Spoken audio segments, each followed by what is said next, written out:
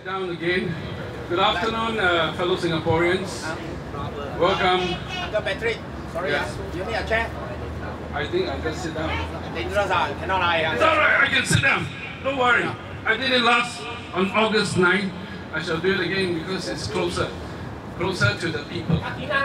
Ah, Kakina. Okay. So, thank you for coming on this very hot afternoon. Thank you for your Thank you for coming. I, I just got it here in time.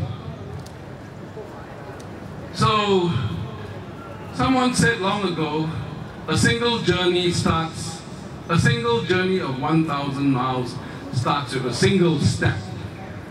So, all of us have made a single step for today and for all the previous uh, protest uh, gatherings, all the single steps to come here to be together, and that is something which is highly encouraging.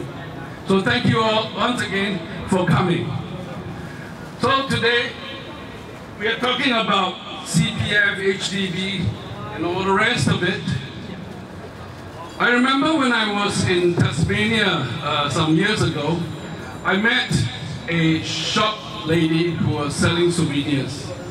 I asked her, how long have you stayed in your house? She said, I've stayed in my house for my whole life. Then what about your mother?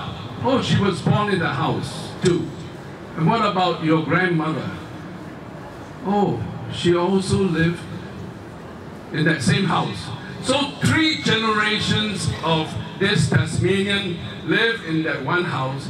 They did not have to sell the house. They don't, do not have to lease back. They not, do not have to rent it out. So that is their home, their nest, their haven, a place where they can go back and find peace and quiet. So same with Singaporeans. Who would want to sell the flat or lease back the flat or rent the flat to the FTs? Because 85% of Singaporeans already got the HDB flat. So who's going to rent from us? So it's likely to be renting to a FT who got our job in the first place. So that is very hard to stomach. Okay. So that is not a viable proposition. So again, the government is not listening. Maybe that afternoon, because of the National Day parade, there are too many planes, F-16s flying around, too many 21 gun salute booming away, so they couldn't hear. But today there's no National Day parade. It is August 23rd. So we rap our song loudly, very loudly, I think they might hear. But they might again pretend not to hear. Singaporeans, I think they have this Asian value, this cultural value, this Chinese value of wanting to bequeath something to their children. Okay, so they die, die, will not lease back. They want to bequeath because if they don't bequeath it to their children, how are they going to afford a half a million dollar flat in the years to come? Right now it's already 300 to 400,000.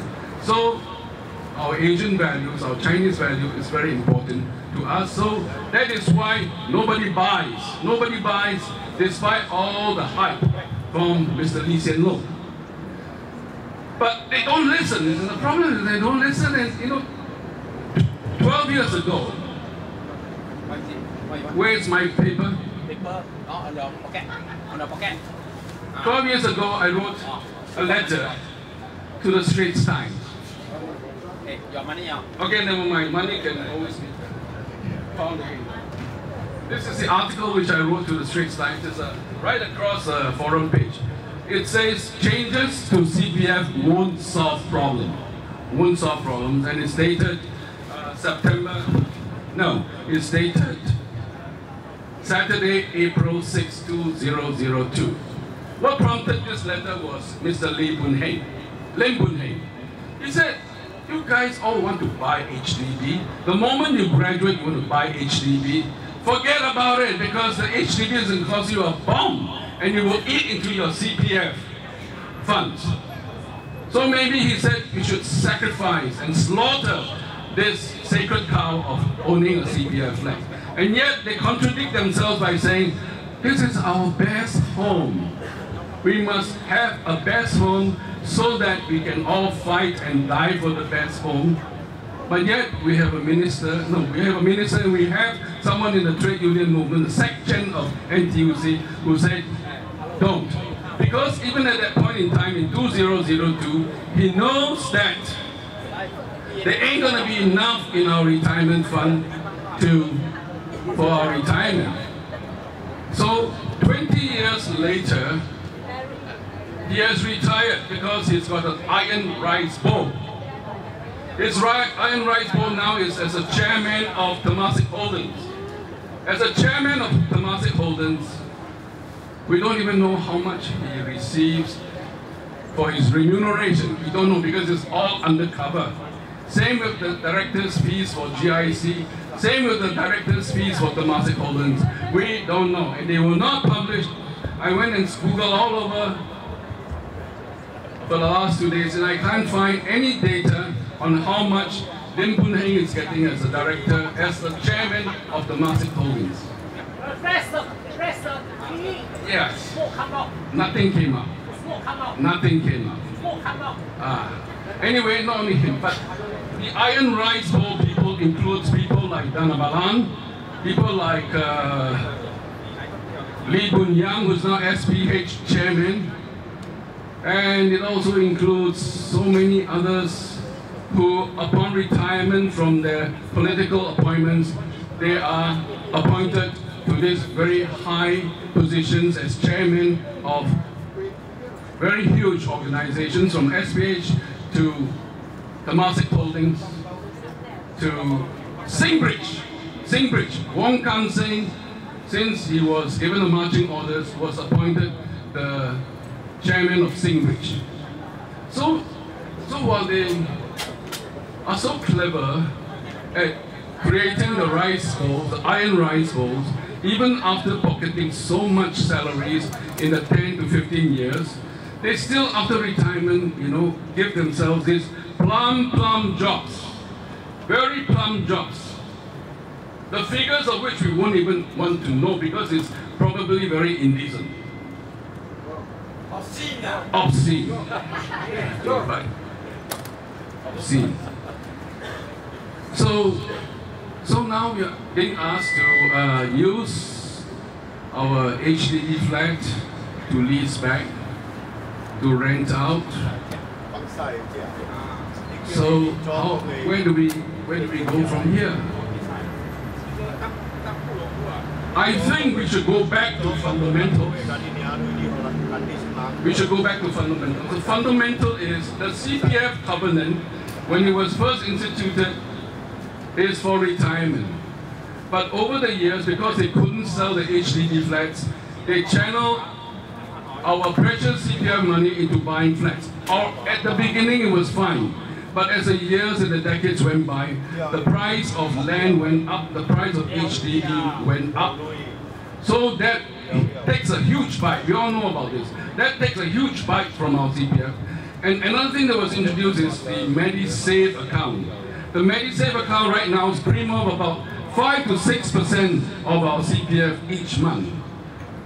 I think we should just abolish the MediSave, abolish it, let the MediSave contribution go back to your special account, your retirement account, and then you don't have to wayang, wayang, wayang with MediShield Life, with selling your flat or lease back your flat. You don't have to wayang, just give, channel the 5 to 6% back to our retirement account and bravely, bravely stand up, stand up for Singapore.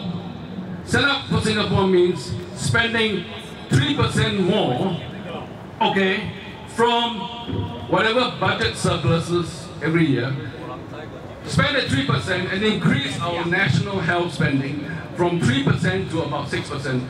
And that will take care of everybody, from the rich to the poor.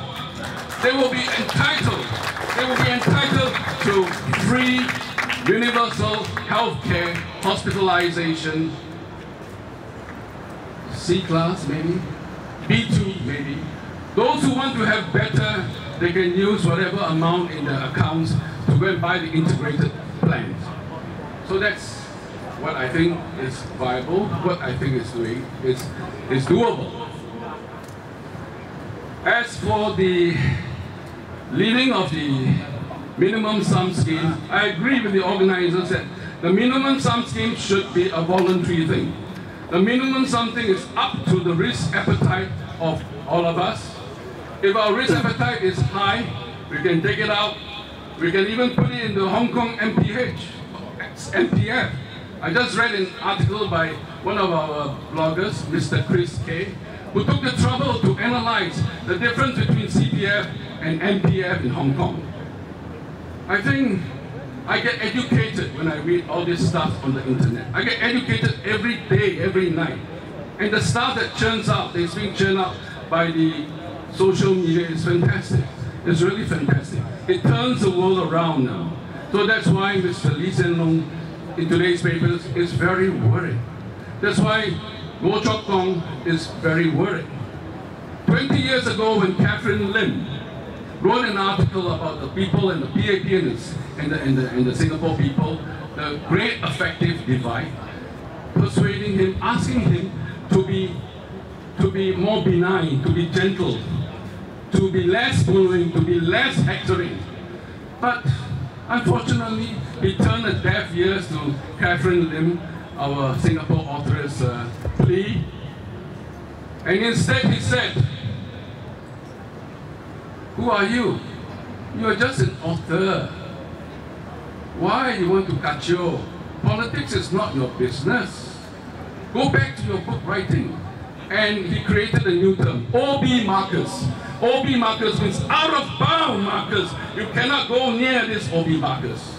But 20 years later, Catherine Lim wrote another open letter to Lee Hsien Loong on the same subject, that the divide between the Singapore, Singaporeans and the government is getting wider and wider and wider. And this is evidenced by Hong Lim, by the social media. So this is one problem which is not a problem in our sense, the word problem, but they perceive it as a problem. And this problem will not go away. I think Lee Hsien Loong is completely out when he says that the internet is not for our age. You cannot arrest the internet. It is here to stay. So better listen while there is still time. Okay? The next time when they do not listen, listen, we will sing this song. No more next time. No more next time. Okay, shall we do it together? 妈妈叫我去买米，走到半路下大雨，我这正水不见底。李总理啊，李总理，你要快快来处理，人民才会相信你。如果你不快快来处理，二零一六就不选你，二零一五就不选你，二零一六就没有你，没有你，没有你。公有公理，婆有婆理，HDP 不可以卖的。，OK，不可以 respect。这次叫我们卖是没有道理的。我们的 CPI 没有了，就是等于是没有米，没有米，就怎么样呢？我不知道。所以二零一五、二零一六，你要快快。现在处理的听没有他听没有听不清楚，所以到现在我们还要唱。Shall we？妈妈，Shall we? One, two, three. I say one line, you say one line. 我那个，我嘞，OK，妈妈叫我去买米，走到半路下大雨，我这镇水不见底，我们的 C P F 哪个去哪里？我们的 C P F 哪去哪里？李总理啊，李总理，你要快快来处理，我们老百姓才会相信你。我们老百姓才会相信你。如果你不快快来处理，不快快来处理，二零。就没有你，没有你，没有你，没有你。